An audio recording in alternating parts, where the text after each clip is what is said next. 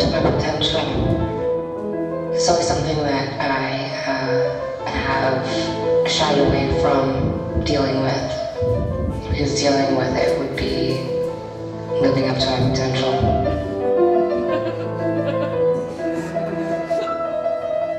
I've heard recently that I'm a very smart girl, I'm a very smart young woman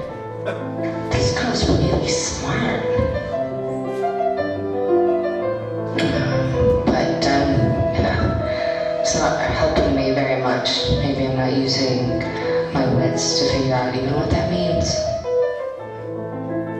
If I'm smart, would that make me capable of being driven? Or maybe more methodical?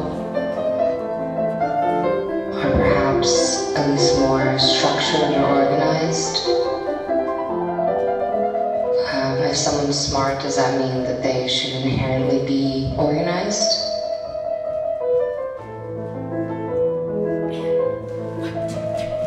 I seem to be driven by emotions. My emotions drive me and the people in my environment. I have erratic emotional changes.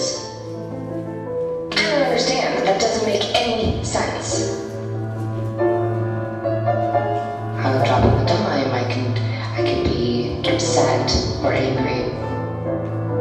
Basically, I just told you I separated all of the recycling from garbage. And then realize after I have a burst of some kind of extreme behavior, it's like I get it out of my system and I'm just okay after that.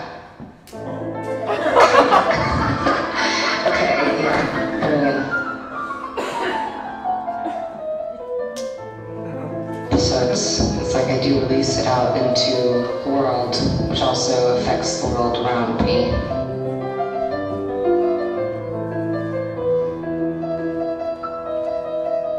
But no, I, I'm sorry, I didn't mean to like freak out. It's fine. It's okay, sorry. We should definitely go to the park and have a picnic.